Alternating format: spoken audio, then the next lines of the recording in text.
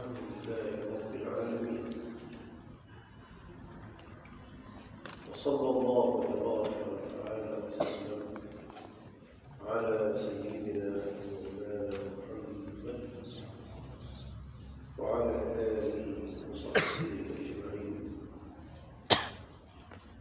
والتابعين لهم بإحسان إلى يوم الدين واجعلنا منهم واجمعنا بهم بفضلك وجودك يا كريم سبحانك لا علم لنا إلا ما علمتنا إنك أنت العليم الحكيم وعنده مفاتح الغيب لا يعلمها إلا هو ويعلم ما في البر والبحر وما تسقط من ورقة إلا يعلمها ولا حبة في ظلمات الأرض ولا رطب ولا يابس إلا في كتاب مبين صدق الله العظيم وبلغ رسوله الكريم ونحن على ذلك من الشاهدين نسألك يا مولانا من فضلك العظيم وفضلك العميم ورحمتك الواسعة أن تعلمنا ما ينفعنا وأن تنفعنا بما علمتنا. اللهم لا تكلنا إلى أنفسنا طرفة عين ولا أقل منها. فنضل ضلالا بعيدا. ونعوذ بك من سيء الأخلاق. ومن علم لا ينفع. ومن نفس لا تشبع. ومن عمل لا يرفع ومن دعاء لا يسمع. اللهم فهمنا أسرارك وألبسنا ملابس ألوانك. خذ بأيدينا إليك في كل أحوالنا واجمعنا بالصالحين إلى أن نلقاك في أحسن القوتين يا أكرم الأكرمين يا أرحم الراحمين. كما نسألك يا رب العالمين أن تنصر المسلمين وأن تعلي شأن هذا الدين. وأن ترد عنا كيد الكائدين. وحقد الحاقدين. وحسد الحاسدين. وعدوان المعتدين. اللهم انصرنا على القوم المفسدين. اللهم شتت شملهم. فرق يا مولانا بقوتك جمعهم.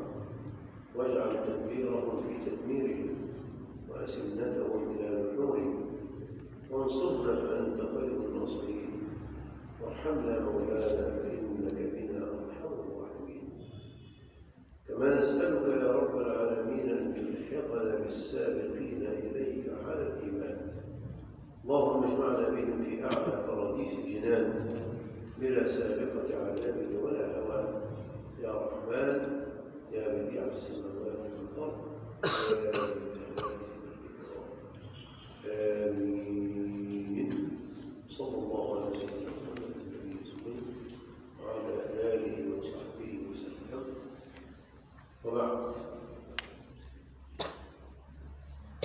بتوفيق الله وعونه ومنه وفضله ومنه نواصل حديثنا في لغة القرآن التي ارتضاها مولانا جل في علاه لقرآنه الذي يتلى إلى يوم القيامة ورضياها لحبيبه صلى الله عليه وسلم ولأهله الذين كانوا من حوله حتى قال صلى الله عليه وسلم أنا أفصح العرب بين أهل من قريش. لماذا؟ لأنه رسول الله. إذا فالذي يعلمه هو مولاه قد قال ربنا جل في علاه وعلمك ما لم تكن تعلم. كان فضل الله عليك عظيما. ولذلك حق له أن يقول أنا أفصح الأرض بين أني من قريش. إلا أني من قريش. أنا منهم. لكن الله اصطفاني وعلمني وجعلني رحمة للعالمين في الدنيا والآخرة. وعلماء اللغة وقفوا عند نصوص اللغة وأخذوا منها القواعد التي وضعوها. فوضعوا القواعد لأواخر الكلمات في داخل الجمل. قواعد لأواخر الكلمات في داخل الجمل. على حسب المعنى. ولذلك آخر حرف في الكلمة وهي في داخل الجملة هو الذي يعطيك المعنى المقصود. وإذ ابتلى إبراهيم ربه. جاء اللفظ منصوبا. يدل على أنه مبتلى يعني وقع عليه البلاء مفعول به.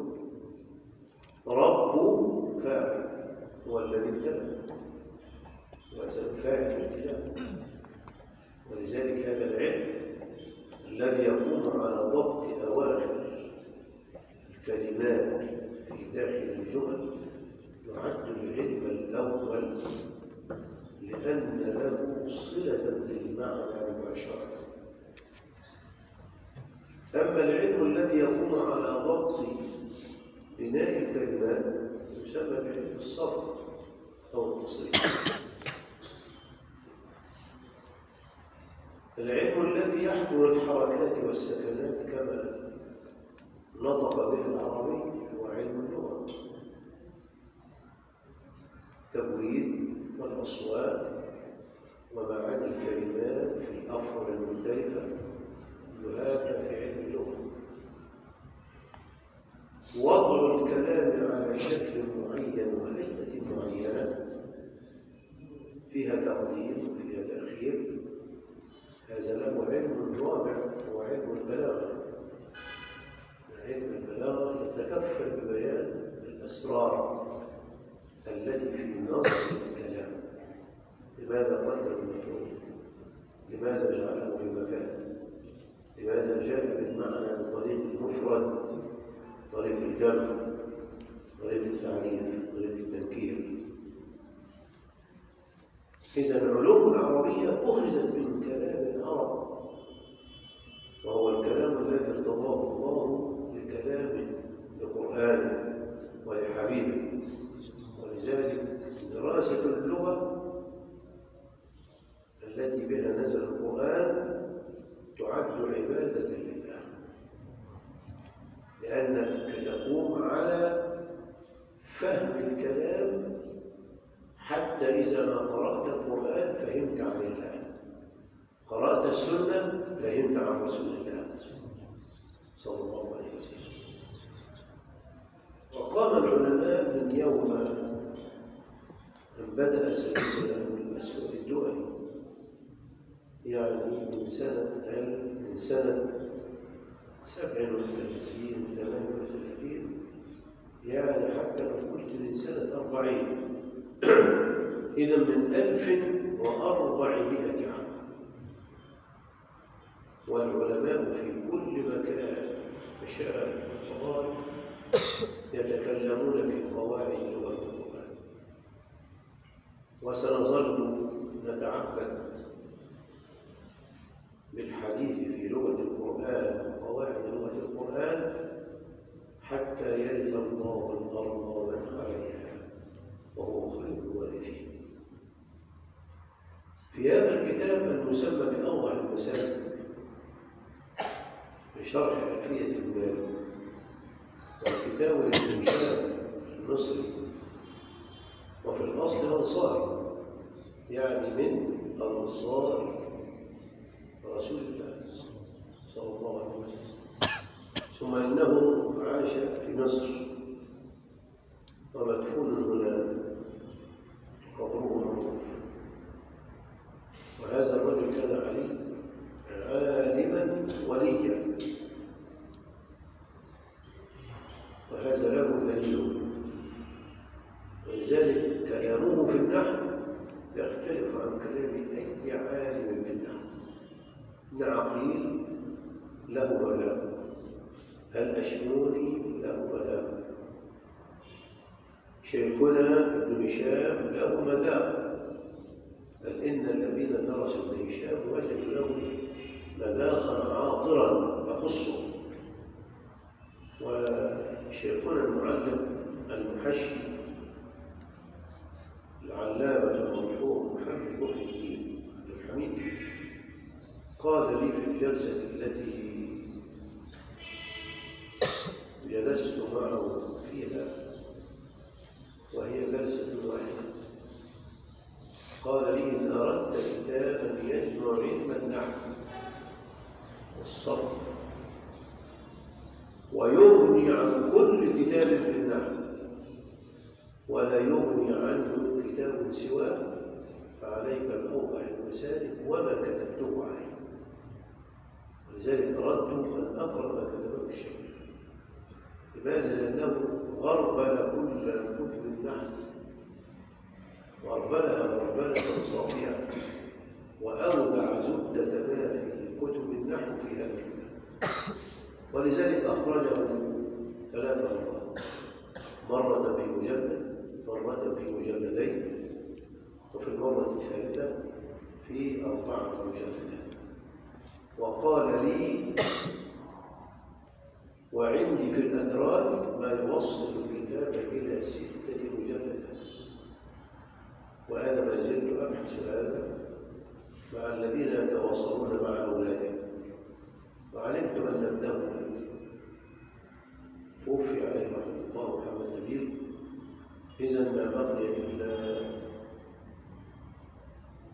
البنتان رجاء وعفاف ونسأل الله عز وجل أن ينفع المسلمين بهذا العالم الكبير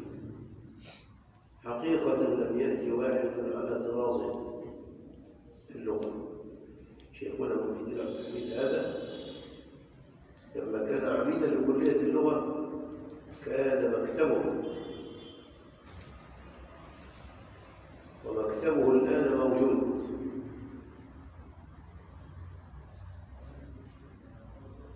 كان مكتبه عليه مراجع النحو والصرف.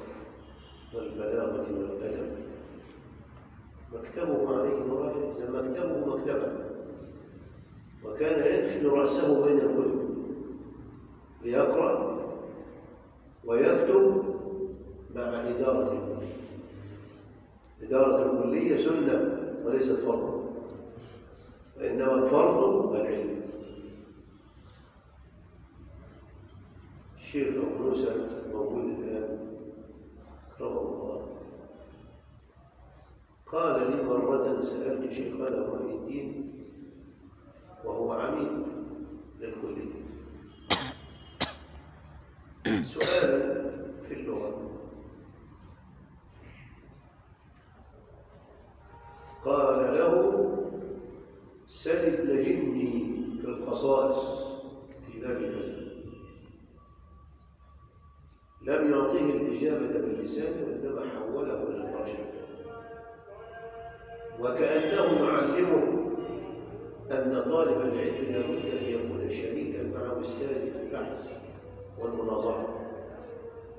وأخذها الشيخ موسى في حياته حينما يسأل سؤالا يقول راجع كذا راجع كذا راجع كذا وسترى خيرا كثيرا.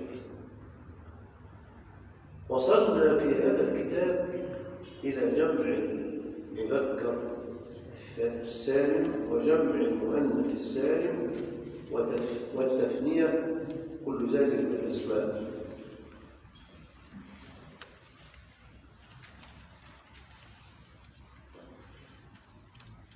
وصلنا إلى حركة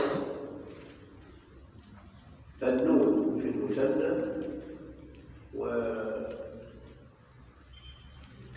الفرق بين نون المثنى ونون الجمع جمع المذكر السالم تفضل بسم الله الرحمن الرحيم الحمد لله رب العالمين والصلاة والسلام على أشرف الأنبياء والمرسلين سيدنا محمد وعلى آله وصحبه أجمعين وبعد فيقول المصنف رحمه الله تعالى ونفعنا بعلومه وبعلوم شيخنا في الدارين آمين فصل نور المثنى ومعون عليه مكسورة وفتحها بعد الياء لغة كقوله على أحواليين استقلت عشية يعني إذا النون المثنى تكون مكسورة جاء المحمدان فالنون التي بعد ألف التثنية حركتها كسر طيب هل تفتح. قال والله رأينا في لغة أنهم يفتحون النون كما في قول الشاعر على أحوذيين استقلت عشية. طيب اقرأ كده ما شرحه شيخنا الشاهد فيه قول لا اقرأ من أول هذا صدر بيت هذا سطر بيت من الطويل وعجوزه قول فما هي إلا مبحث ونظيف أولا يعني طويل يعني بحر طويل والعرب كانت تسير في شعرها على نظام هذا النظام سماه الخليل وهو الذي استطاع بفضل الله عليه أن ينظم شعر العرب على ما هم عليه من نظام لكنه أخرجه علما فسماه بعلم العروض وقيل لأن مكة كانت تسمى عروضا لأنها تعترض الطريق الذي يأتي من بلاد اليمن إلى بلاد الشام. فمكة تعترض الطريق الذي يأتي من بلاد اليمن ينزل مكة. ثم بعد ذلك بعد أن يستريح وأن يزور البيت يخرج ليمشي إلى بلاد الشام. فسمى العلم باسم البلد. وهذا العلم هو علم ميزان الشعر لأن الشعر له ميزان سار عليه الشعراء بحيث لم يكن منهم اعوجاج أبدا. يعني البيت الأول كالثاني كالثالث كالرابع ولو كانت القصيدة ألف بيت. ترى البيت الأول كالبيت الأخير. ثم إنهم سموا هذه الاتجاهات في الشعر سموها بالبحور تشبيها بالبحر الذي يسبح فيه الإنسان.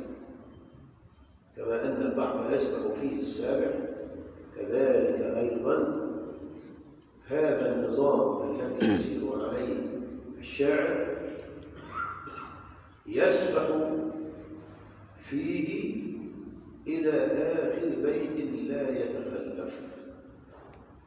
فسموا بحرا بالطويل. لماذا سموه بالطويل؟ لأن تكويناته فيها طول. فعول وفاعل. فعول وفاعل. هذا هو الشطر الأول. الشطر الثاني بنفس النمط فعول فعول وفاعل. وهناك بحور أخرى أوصلها الخليل إلى خمسة عشر وحدة.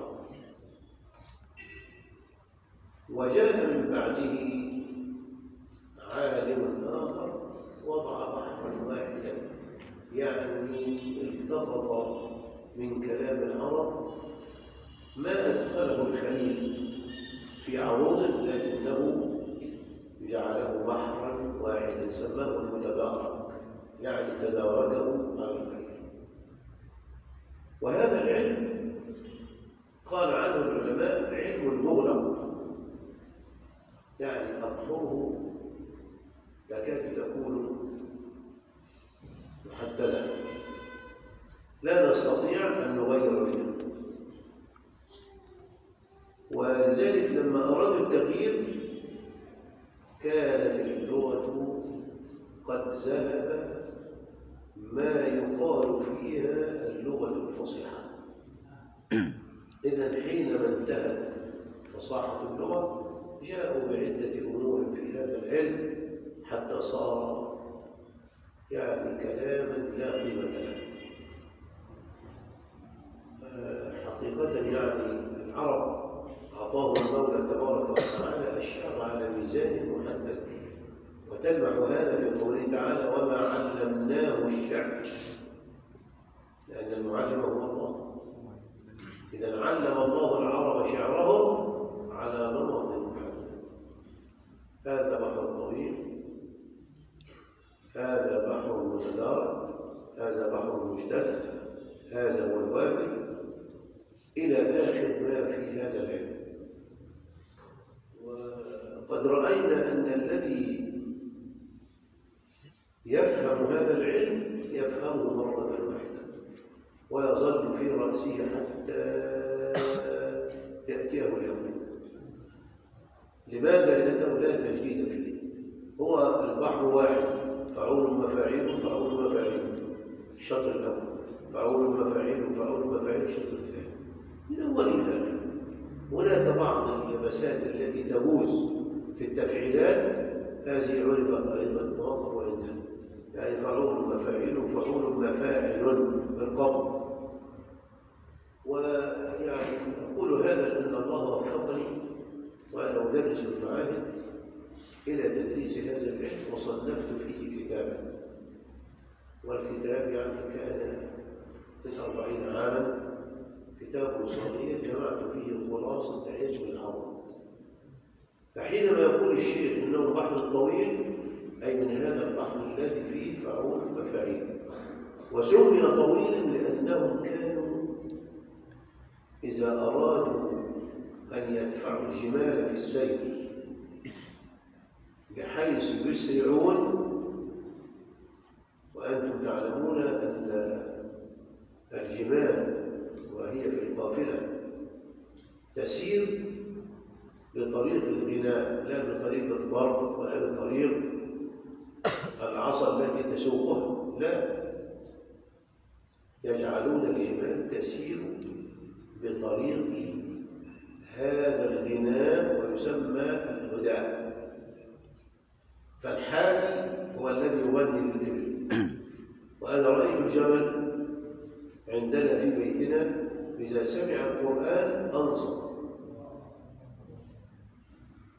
بل إنه إذا كان يأكل أوقف الطعام وأنصت وإذا سمع الغناء يعني هو ينصت لجمال الكلام. فالله قد وضع فيه حبا لجمال الكلام سواء كان قرآنا أو كان شعرا أو كان غناء من أي اتجاه ولذلك كان صلى الله عليه وسلم يقول لحد الإبل يعني يا أنجشة أنجشة هو الحاجة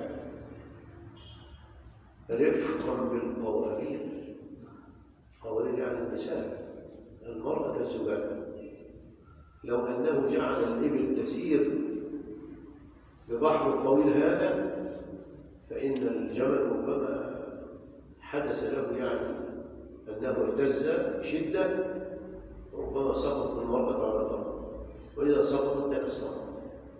فهي كالزجاجة فقال رفقا بالقوم لأن بحر المتدارك يعني فاعل فاعل فاعل فاعل. كأنك تجعل الجمال تذهب إلى فوق وتنزل هكذا. لكن بحر الطويل يجعلها تسرع إسراعا هادئا لأنك تقول بدأت بسم الله. منشي خلقنا فعول فاعل. ترى أن الجبل صحيح. يجد في السير إلا أنه يطيل المسافة بين قدميه. ولذلك سمي البحر إيه؟ الطويل هذه لمحة عن قوله من بحر الطويل. نعم يا سيدي. وهذا بيت من كلمة جيدة لحميد بن ثور الهلالي يصف فيها قطاع. قطاع. قطاع يعني عصفورة. يعني عصفورة على أحوذيين استقلت عشيته أحوذيين أحوذيته هو مثنى أحوذي وأصل الأحوذي السريع في سيره. آه السريع في سيره. يقال له أحوذي يعني سريع. ثم استعمل في السريع في كل شيء أخذ فيه. وقال أبو عمرو الأحوذي هو الخفيف في الشيء يحذبه يحذقه. وفي ديوان الأدب الأحوذي الراعي المتشمر للرعاية الضارة لما ولي آه أحوذي هو الراعي الذي يرعى الغنم بجدية واضحة يمسك بعصاه ويضرب هنا ويسوق من هناك. ويجمع الغنم من هذه الناحية. هذا يسمى أحوذيا لأنه سريع نشيط.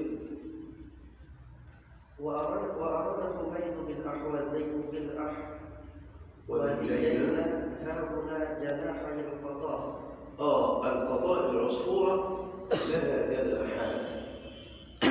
الجناحان تسير بهما في الهواء. على أحوذيين استقلا يعني طارت. عشية يعني في وقت العشاء. مم. استقلت ارتفعت وتحاملت وعلت في الجو. آه والمعنى؟ والمعنى يريد أن هذا القطار أن أن هذا القطار هذه القضاء؟ يريد أن هذه القطار قد طارت بجناحين سريعين. فأنت لا تقع عينك عليها إلا مقدار لحظة ثم تغيب عنك. وكم بذلك عن سرعتها. صحيح هو الطائر حينما تراه سواء كان العصافير على وجه الخصوص لأنها صغيرة ولكنها مع صغرها سريعة. فحينما ترى العصفورة في الجو تراها في لمحة ثم تغيب ولذلك قال إنها تسير في الجو بهذين الجناحين حينما تراها تراها في لمح البصر. بعد لمح البصر تراها ضاعت عنك. وهذا يدل على سرعتها. فما هي إلا لمحة يعني رأيتها فيها وتغيب عنك. وهذا دليل على سرعتها. هذا الشاهد. الشاهد فيه قول أحوذيين نعم فإن الرواية فيه بفتح النون. آه. ولا يمكن أن يجعل إعراب هذه الكلمة بحركة ظاهرة على النون. آه لأن على حرف جر. لأن الكلمة في موضع الجر والنون مفتوحة كما علمت آه لأنها لو كانت هذه النون. محلا للإعراب لقال على أحوذيين لأن الكلمة مجروره بعلم وتكون علامة الجر الكسرة. وإن شاء الله بعد يا مولانا أذن مولانا. الله أكبر الله أكبر. الله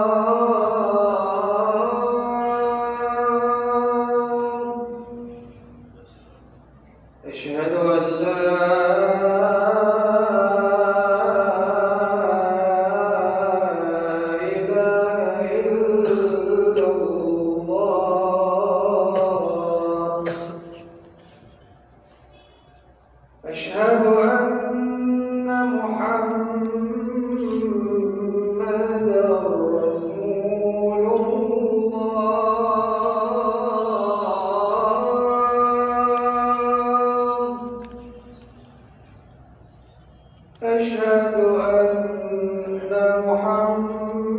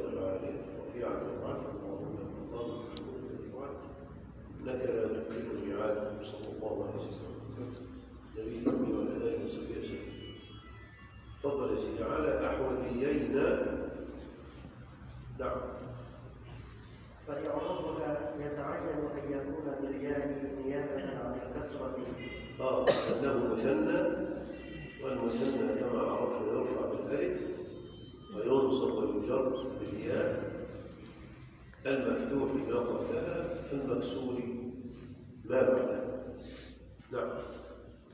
وقد اختلف العلماء في الاعتذار عن فتح النون. آه لأنه شاعر وشاعر في الأيام وصاحب في اللغة. فيعني كيف نطق بالمثنى مجرورا وجاء بالنون مفتوحا. لماذا لم يأتي بالنون مكسورا؟ فالعلماء اختلفوا. فمنهم من زعم أنه ضرورة وليس في مقدتك. وليس في مكنتك أن تقبل هذا. لأنها لو كانت ضرورة شعرية للوزن فالوزن على الفتح هو الوزن على الكسر لأن الوزن الحركة فيه على أي شكل تكون حركة سواء كانت الحركة فتحة كسرة ضم. على أحوذيين على أحوذيين فالحركة عند التفعيلات هي حركة سواء كانت فتحة أو كسرة أو ضم. نعم. لأنه لا محوجة لأنه لا محوج إلى هذا الفتح من قافية أو وزن آه الوزن يسير مع الكسر والفتح والقافية كذلك. نعم. بل يستقيم البيت بحاله من غير تغيير فيه أصلا مع الكسر الذي هو الغالب كما استقام مع الفتح. ومن العلماء من ذكر أن فتح نون المثنى بعد الياء لغة من لغات العرب. وقد نقلها الفراء عن بني أسد. وهذا أولى أن يؤخذ به لما قدمناه. آه نقول إنها لغة. يعني من لغات العرب وهي لغة بني أسد يجعلون أن نون المثنى تكون مفهومة و وسيأتي هذا بعضهم قال هي لغة مع الياء. وقيل لا يختص بالياء. يعني فتح النون بعد الياء لغة وبعضهم قال لا ليس مختصا بالياء وإنما يأتي أيضا مع الألف. كما في قول الشاعر كقوله أعرف منها الجيد والعينان. الجيد يعني الرغبة. في جيدها يعني في رغبتها. أعرف منها الجيد والعينان. هذا بيت مشهور الرجز الرجز على مستفعل. مستفعل مستفعل. هذا بيت من مشهور الرجز وقد نسب كثير من النحاة هذا الشاهد إلى رتبة ابن العجاج. إلى ركبة من العجاز إلى رعبة ابن العجاج. وقد ذكره ناشر ناشر ديوانه في زياداته التي حدثتك حديثها مرارا. حدثتك حديثها مرارا.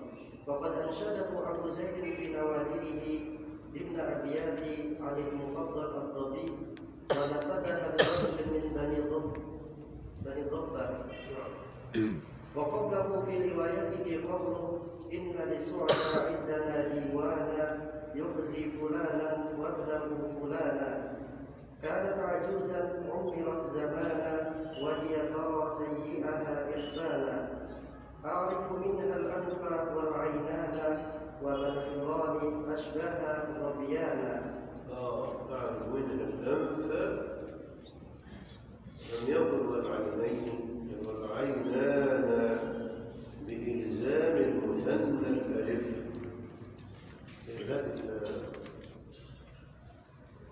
هذا الشاهد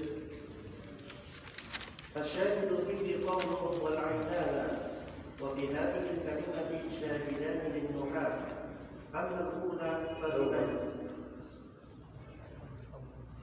أما الأول أما الأول ففنجي المثنى بالألف في حالة النصب وهذه لغة جماعة من العرب منهم كنانة وبنو الحارث ابن كعب وبنو العنبر وبنو الهجين وبطون من ربيعة.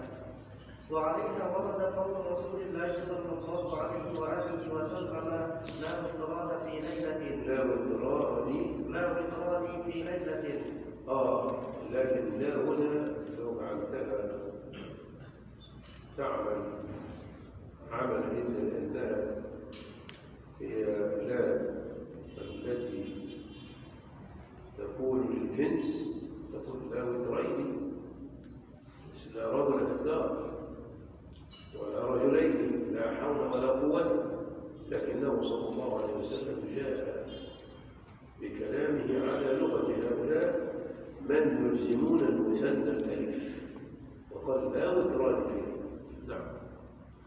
وعليها خرج بعض العلماء قوله تعالى إن هذان لساحران. آه وردت آه، رواية إن هذان لساحران. قال هذان هذا أيضا منصوب. وعلامة نصبه فتحة مقدرة على يلزمون المثنى نعم. وعليها جاء قول المتلمس واسمه جرير ابن عبد المسيح. فأطرق إطراق الشجاع ولو رأى مساغا لناباه الشجاع لصمما مسارا لناباه مع أن القاعدة أن اللام حرف جر فكان عليه أن يقول على اللغة الواسعة يقول مسارا لنابيه إلا أنه ألزم المسنى فالزمه نعم. وقول آخر تزود منا بين أذناه طعنة دعته إلى هذه إلى هذه التراب عقيم. تزود منا بين لم يقل بين أذنيه البين إيه؟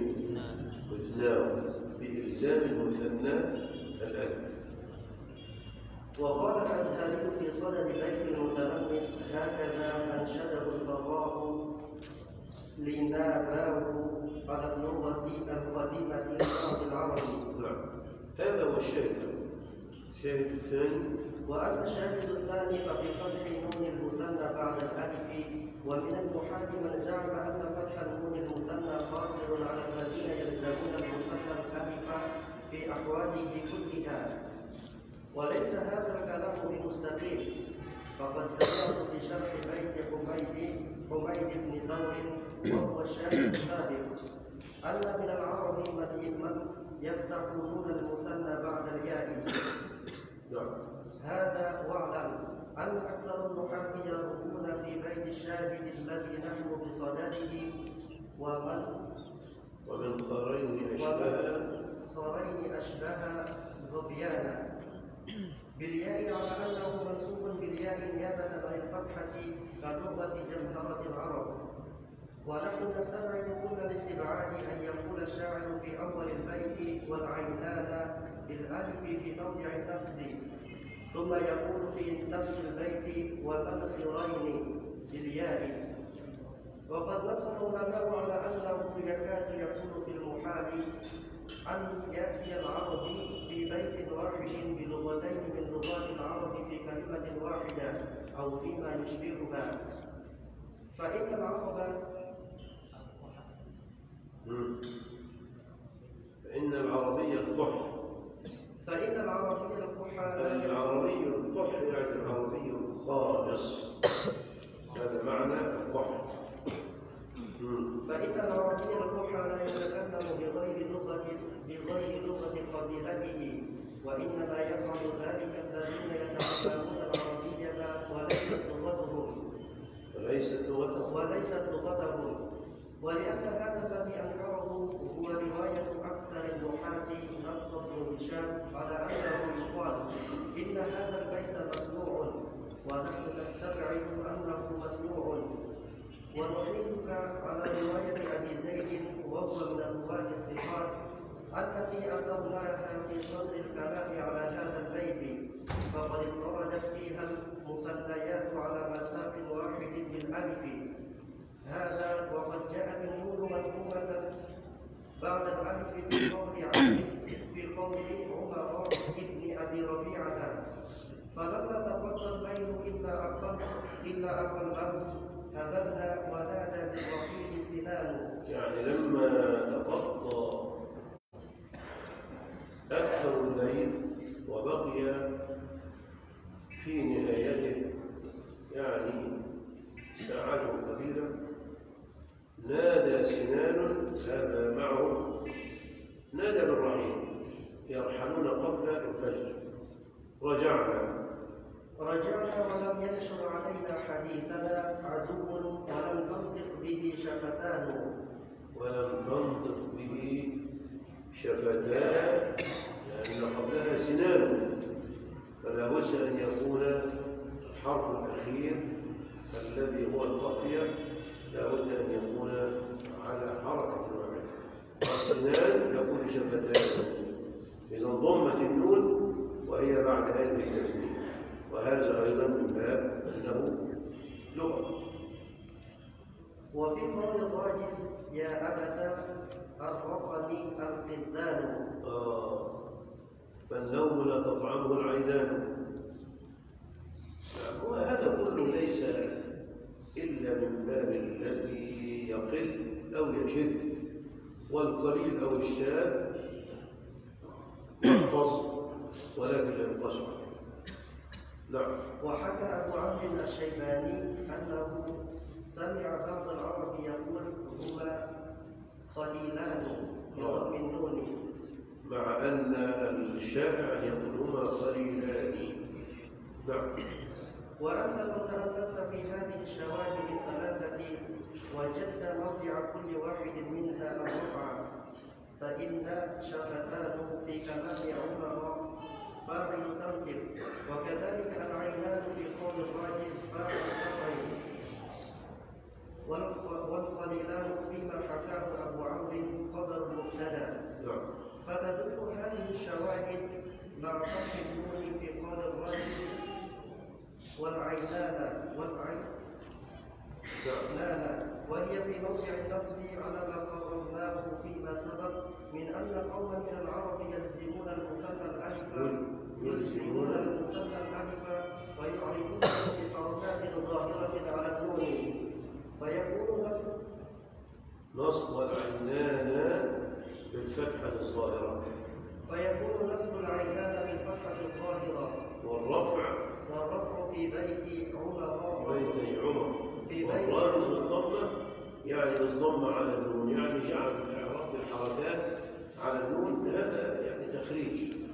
والعرب كانوا دائما يكتبون بما شاع وما عدا الشائع يعد شاذا يحفظ ولا يقاس عليه وما فعله العلماء إنما هو اعتذار وتخريج. أسأل الله تبارك وتعالى أن يوفق